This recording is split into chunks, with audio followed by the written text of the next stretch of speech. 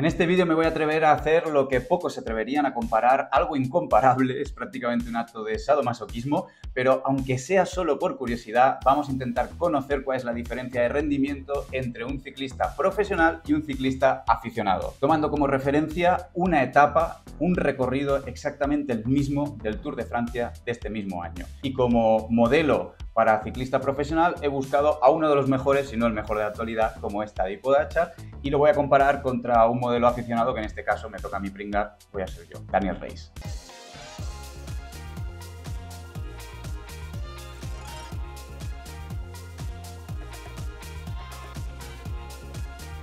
Puede parecer que esta comparativa no tiene sentido porque antes de empezarla ya conocemos el resultado. Obviamente Pogachar va a ser mucho más rápido que yo, mucho más rápido que todos los que estáis viendo el vídeo y más rápido que todo el pelotón profesional, quizá a excepción de Vingegaard, que está ahí en la batalla. Pero aunque sea por curiosidad, vamos a ver cómo de grande es ese hueco entre los pros y nosotros. Para realizar esta comparativa voy a basarme en los datos de la etapa 14 del pasado Tour de Francia de 2023, 152 kilómetros, 4.100 metros de desnivel, acabando en Morzin y una etapa muy dura, de hecho se supone que es la etapa reina de este año en el Tour de Francia, una etapa que se celebró el 15 de julio y justo una semana antes tenía lugar Etape du Tour Francia, que es una marcha cicloturista multitudinaria que se celebra cada año exactamente en el mismo recorrido que tiene lugar la etapa reina del Tour de Francia en cada edición. Y allí es donde tuvo el placer de participar exactamente el mismo recorrido.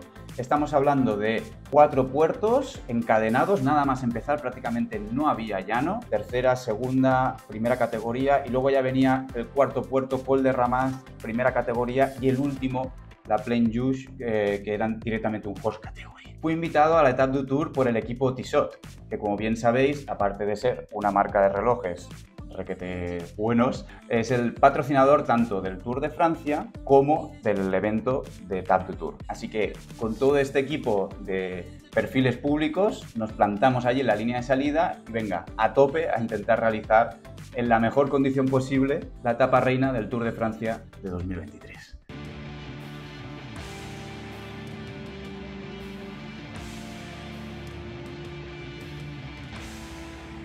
Para que todo el mundo tenga un poco de contexto antes de empezar con los datos de la comparativa en sí, vamos a dar más datos sobre cada uno de los perfiles que vamos a poner a estudio. Tadej Pogachar y Daniel Reis. Para empezar, la edad 24 años versus 36 años. La altura 176 versus 175. Estamos ahí parecidos. En el peso, según Wikipedia, pesa 65 kilos Pogachar. Yo creo que va a ser bastante menos, al menos en pico de forma del Tour de Francia, versus mis 69 kilos, eh, estar en línea de meta de Tap de Tour. Hijos, digamos, cargas familiares, obviamente Pogachar todavía no tiene ninguno, yo tengo una hija. Trabajo, él es ciclista profesional, full time, y yo soy autónomo, he puesto 40 horas a la semana, pues bueno, hay alguna semana que se curra un poco más. A nivel de ranking, Pogachar, pues ahora mismo no sé cómo está con el tema de puntos UCI y tal, pero ya os he dicho que podemos decir que es el número uno mundial o si no está entre los dos mejores o tres mejores ciclistas del mundo en la actualidad.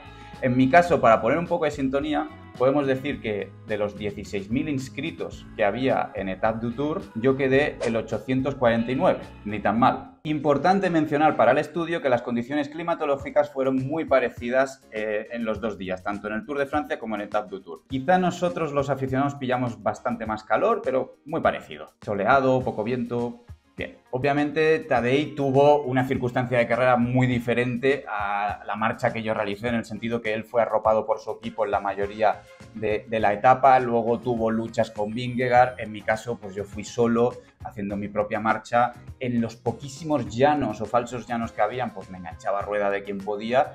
Pero vamos, que es una situación muy diferente para cada uno. Recordar también que los profesionales corren sin cargar con sus herramientas de repuesto, sin llevar los bidones llenos de agua, sin pesos extra de barritas de comida encima y por supuesto no paran a ningún habituallamiento. En mi caso, obviamente cargaba con todo y tuve que parar un par de veces en los dos últimos habituallamientos para recargar líquidos, hacer un pipi, etcétera, etcétera.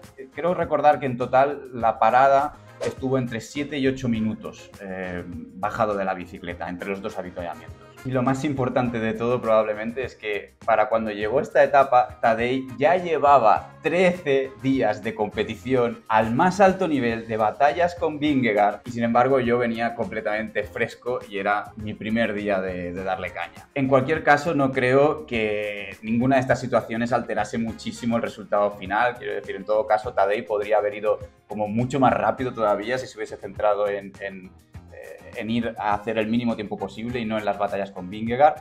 Pero bueno, son circunstancias que hay que recordar, pues ya está, porque somos diferentes también y se, y se corre una marcha de manera muy diferente a como corren los profesionales con sus batallitas y sus temas de, de generales, de clasificaciones y todo eso. Los datos que voy a compartir con vosotros fueron recogidos durante mi participación en Etap du Tour, entre otros instrumentos por los Favero Asiomaruo, que es el potenciómetro que yo utilizo en los pedales. Gracias a ellos puedo tener eh, los datos de la potencia, de la cadencia, el nivel de esfuerzo, etcétera, etcétera. Voy a dar también datos que fueron obtenidos por el Garmin 1030 que yo de normal llevo en la bicicleta de carretera.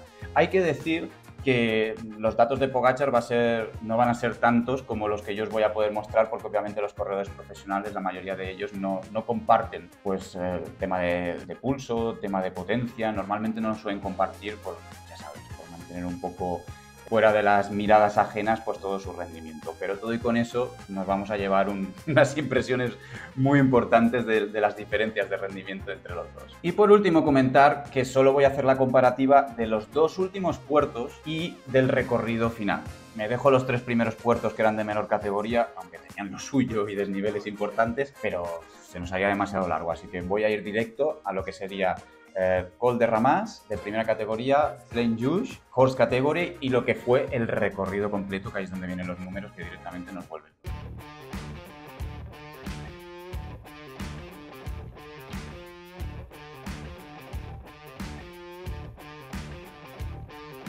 Vamos allá con Col de Ramas, que aunque es el primer puerto que comparamos, era el cuarto en la etapa. Según la organización era un primera categoría, según Strava es un Horse Category. En definitiva son 14 kilómetros a un promedio del 7% de desnivel, que queda enmascarado porque en lo alto de todo hay como, como un falso llano y de alguna manera no, la pendiente media no llega a transmitir el desnivel brutal que hay porque hay, unas rampas que llegan, creo recordar, 16% en alguna zona de túneles y, y todo, ¿no? Son prácticamente mil metros de desnivel se hacen por completo solo en este puerto. Pues bien, fui capaz de subirlo en una hora 0,157 segundos. Estamos hablando de una velocidad media de 13,6 kilómetros hora, una cadencia de 85, un ritmo cardíaco mmm, medio de 166 pulsaciones, uno máximo de 176, como podéis imaginar, no, no iba buscando ritmos máximos porque lo importante era acabar la etapa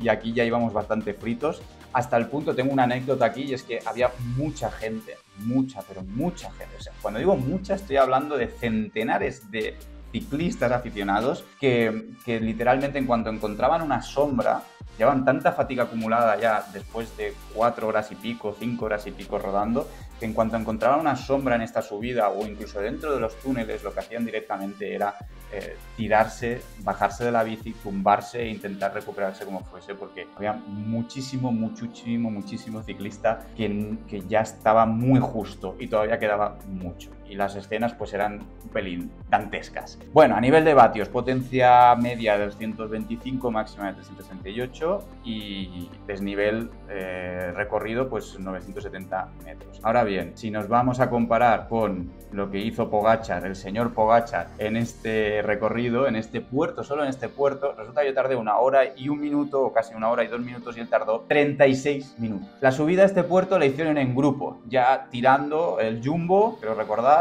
quiero decir que ya habiendo una selección importante dentro del pelotón, quedaban pocas unidades, ya que estaban preparando la emboscada para el último puerto, pero madre mía, donde yo subía 13 por hora de media, 13,6 de media, Pogachar subió 23 kilómetros por hora de media. Y aquí hay otro dato que a mí me parece bastante relevante, interesante, y es que yo fui capaz de subir una cadencia 85 pedaladas por minuto y Pogachar fue capaz de llevar 96 pedaladas por minuto, con un máximo de 113. Bueno, brutal. 36, o sea, estamos hablando de que casi, casi tarda la mitad que yo en recorrer el mismo puerto. Increíble, increíble. Bueno, si seguimos pasando al resto de puertos, vamos a seguir flipándolo. Porque el que está por venir, ya os digo que es como más duro todavía, ya que este sí que estaba 100% eh, categorizado como, como un host category, como una categoría especial. Puerto muy duro, muy duro, sobre todo por todo lo que llevábamos ya encima. Estamos hablando de 11,6 kilómetros con una pendiente media del 8% y otra vez 962 metros de desnivel casi un kilómetro de desnivel, muy, muy duro. Nosotros al menos pillamos muchísimo calor y como os digo, el encadenado de todo lo que llevábamos, ah, tuve un, personalmente un momento de, de bajón, tuve que comer muchísimo porque, wow, eh, me, estaba viendo la pájara encima, pero no, no, al final lo subí con buen ritmo, dices, es que llego arriba, me siento súper bien, soy el puto amo, media de velocidad 11,1 kilómetros de media, eh, cadencia 77 de media, 103 de máxima, pulso 165 de media, 179 de máxima, unos datos muy parecidos al puerto anterior, eso para mí ya es una victoria, ¿no? Porque ibas acumulando fatiga y aún así mantienes los datos, 216 vatios de promedio, 453 de máximo, pero es que el señor eh, Tadej Pogachar volvió hacerlo en 33 minutos, o sea, prácticamente otra vez la mitad del tiempo. Donde yo fui a 11,1 kilómetros de media, él fue a 20,3. Además, eh, aquí hay que añadir que, que, aquí hubo batalla con Vingegaard, se escapó,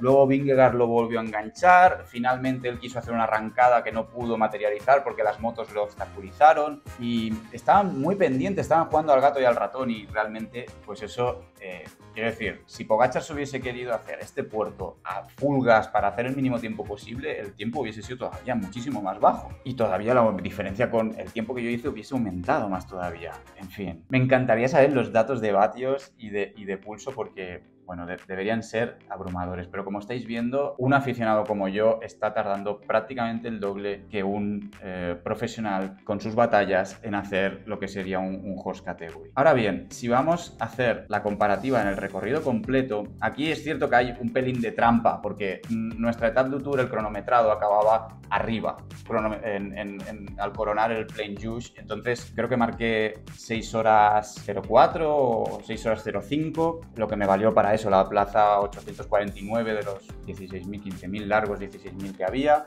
inscritos y luego realmente me paré, bajé súper tranquilo la última bajada donde Carlos Rodríguez precisamente atacó y se llevó la victoria y entonces digamos que mi tiempo final está un pelín inflado. Vamos a poner que tardé 5 minutos más de lo que debía haber tardado y vamos a poner que hay que sumar los 7 minutos que me paré los avituallamientos. Pero todo y con eso yo tardé 6 horas 28.05 y el señor Pogachar con sus batallas, con sus historias y con todo tardó 4 horas 4 minutos 29 segundos. Eh, una auténtica barbaridad.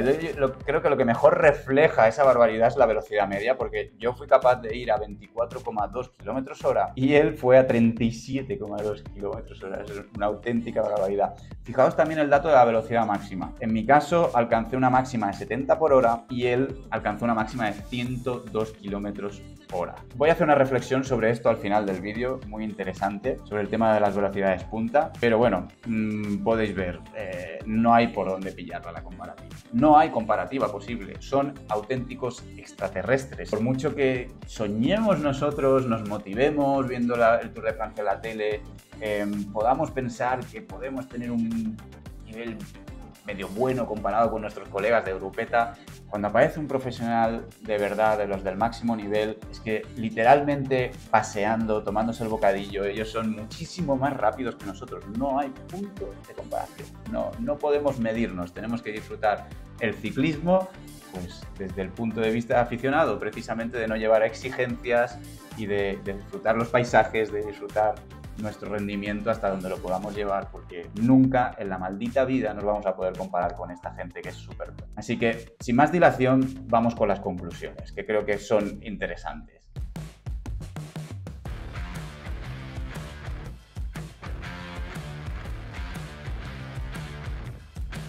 Conclusiones, tengo tres. La primera de todas es muy obvia, la distancia en rendimiento entre un ciclista profesional y un aficionado da igual, podéis poner un perfil que sea más bueno que yo, eh, un perfil que sea como yo, me da lo mismo. Me he puesto como ejemplo, pero es que es imposible alcanzarlos. Máximo respeto a ellos eh, en este sentido. El segundo punto, la segunda conclusión, eh, tiene que ver con el respeto máximo que creo que deberíamos tenerles y que a veces, mm, pues lo típico desde Twitter, el sofá, viendo el reportaje en casa, tranquilamente sentado, pues hay gente que, que se olvida de ciertos puntos, ¿no? Puntos que tienen que ver con el estrés, con la presión a la que los ciclistas profesionales son sometidos cuando están haciendo estos recorridos. Nosotros estamos haciendo una marcha como esta de Tap to Tour y estamos allí porque queremos, estamos allí porque eh, nos apetece disfrutar de esa experiencia, nos podemos apretar más o menos, nos podemos autoexigir más o menos, pero la exigencia eh, externa, digamos, no la tenemos. Sin embargo, ellos corren bajo un estrés, por supuesto, físico, por supuesto, climatológico. Yo diría que sobre todo los más importantes son el, estrés psicológico y emocional, porque en cualquiera de estas etapas, cualquier ciclista, no voy a poner ejemplo a Pogacar, que está en lo más top ahora mismo, pero cualquier ciclista profesional se puede estar jugando una, una, renovación de contrato para el año que viene. Se puede estar jugando que le obliguen a retirarse o no, si ya es mayor o no. Eh, etcétera, etcétera. Se puede estar jugando en definitiva el sustento económico que, entra en su casa. Y aparte de esto, pues otro tipo de presiones que tienen que ver ya con la parte deportiva, de intentar alcanzar un rival, de llevar al jefe de equipo en el pinganillo.